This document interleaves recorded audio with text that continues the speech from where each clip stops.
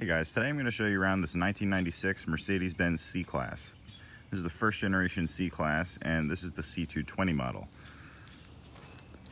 So starting with the exterior styling, you can see it as the classic Mercedes uh, radiator grille and hood star. Very classy look. On the side we have the 8-hole alloy wheels. I believe they're 15 inch.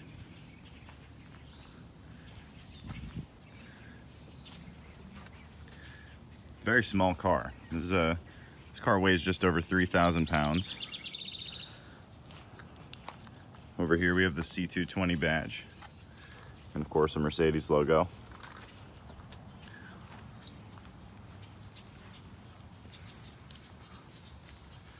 Overall it's a very beautiful looking car. I like the way the W202 looks. All right, so now I'm gonna show you uh, inside the car. But first to unlock the doors, we do have a remote. So you just press this button right in the middle, you point it at the rearview mirror, and those two lights flash to let you know that the doors are unlocked. A lot of older Mercedes have broken receivers, so it's pretty amazing that this one still works. so opening up, you can see the interior. This is a very nice looking door panel here. You have your wood and vinyl trim and your controls for the power seats and the headrest. Power headrest is over here. And that still works too. Very simple door panel, but looks very elegant for the time. Before I show you around the interior, I'm gonna start up the car and open up the hood for you.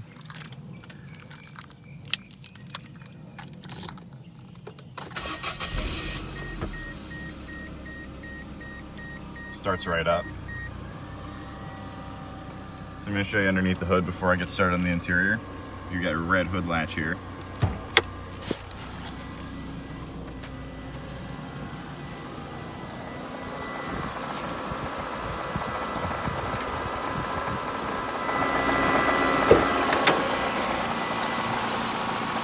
This is the engine, the 2.2 liter pretty small engine, but it gets very good gas mileage, especially on the highway. Covered in, uh, guess someone spilled oil on this engine, it's like dried up oil. But overall, this example is in very nice shape. Runs like a dream.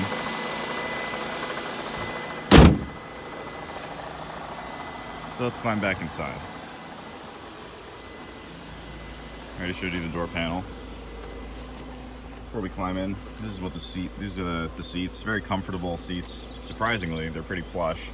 Uh, it is a vinyl trim. This one does not have the leather seats, but it's still better than cloth in my opinion, more comfortable. So when you're inside, you can notice it's actually pretty quiet in here, very well insulated.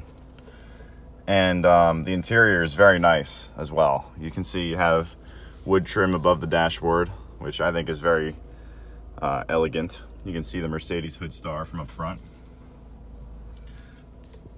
Here's your gauge cluster. Uh, obviously, you have your coolant temperature and your gas gauge and a exterior temperature. Uh, warning lights. This one has a coolant light on and the coolant is full and the engine doesn't overheat when you drive it for extended periods of time. So I think it's just a coolant level sensor. So yeah. Um, Speedometer goes up to 140. I'm not sure how fast this car actually goes, being that only has 145 horsepower. Uh, that's your tach and your, your uh, clock right there. This is your steering wheel. Looks a lot like other Mercedes steering wheels from the time. That's your horn. And your headlight switch, of course, parking brake release.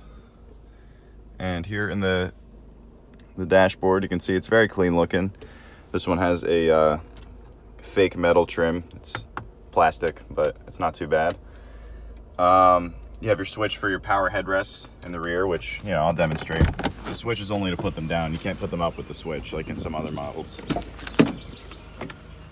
So you can see if you put the headrest up, oops, put the headrest up, and you flip the switch, it'll go down right from the front seat. Pretty convenient if you want better visibility after people were sitting in the back. Let me just close that door.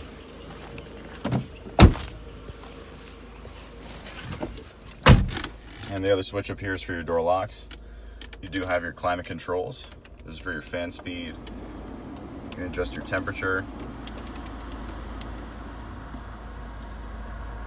And your, uh, your mode setting, of course.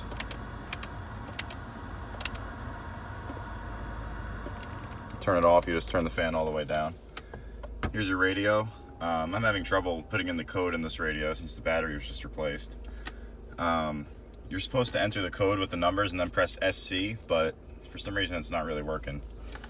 So can't show you the radio right now. Right below the radio you have cassette storage for your cassette collection. You open just like that. And when you have a cassette in there, these uh, white lights turn red. And again, I don't own any cassettes, so can't really show you that. You have a storage compartment right here, coated in this thick wood trim. You can see on the sides, you, you can feel like it's it's got wood. You can feel it's real wood. It's amazing. Most new cars don't have real wood anymore. But this overall is just a very elegant looking interior. Of course, you have your gear shift knob. This one is leather wrapped with a Mercedes logo on top. Park, reverse, neutral, drive, and then you can manually select your gears, third and second, of course I'm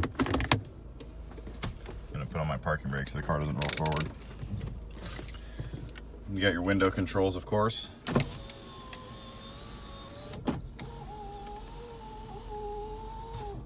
And your power mirrors. I don't think I need to demonstrate that. In here you have a cubby for a cup holder. This is probably the first 90s Mercedes to have a cup holder. This one doesn't have the insert, but you can still put a drink in here. But again, it's a very nice interior, very pleasant to uh, to be in. Very clean and elegant. Up here you have a sunroof with a glass portion. And uh, this is how you open the sunroof. And if you push the switch, you can pop the sunroof up like that. You have your switch for your reading lights. That side is out. That's pretty much all there is to it. Uh, I guess I'll climb in the back and show you the back seat. There's not a whole lot to go over back there. Oh, before I forget, speaking of the windshield wipers, check this out. There's only one wiper. Very interesting uh, hallmark of old Mercedes models. Even my W140 doesn't have that.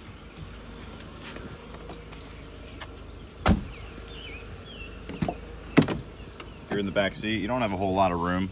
Then again, I am six foot and the seat is to my current driving position. I have enough legroom back here, can, being that the car is so small. And you get a better view of the front interior. Again, very simple and elegant. I love the interior in this car. Very well finished as well. But back to the back seat, you have a flip down area for, uh, I guess a cigarette lighter used to be there. I don't really know what that is. I haven't really been back here before. Again, you have your vinyl seat material door panel with the oddly placed window switch, but it works. Over here you have your armrest and you can put your headrests up by hand. Your first aid kit, which still has. Looks like it's very old and probably never used. So yeah, that's the interior again, very nice. I love the interior. They did a great job, even with the original 90s C-Class, making it feel like an elegant car.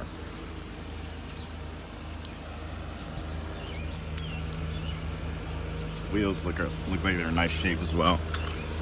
Paid. I paid $1,700 for this example, which you can see how nice condition the car is in There's no rust or anything. Just a little bit of dirt. Once I get it registered and get plates on it, I'll take it to the do-it-yourself car wash. This is the, uh, I think the trunk might be locked. Oh wait, no.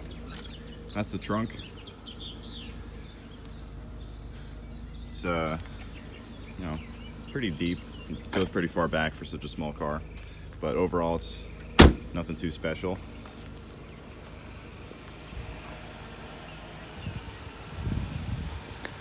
So there you have it. That is the W202 Mercedes-Benz C220.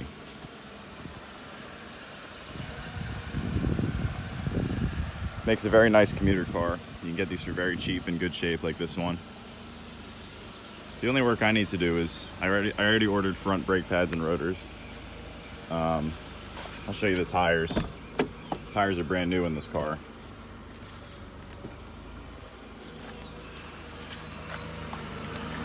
Plenty of tread left in these tires. So really, for the price that these cars go for, you really can't go wrong with a 90s Mercedes C-Class. Very simple, reliable, elegant. They get good fuel economy. Uh, they're very stylish and just interesting cars. I think they're great cars for the money.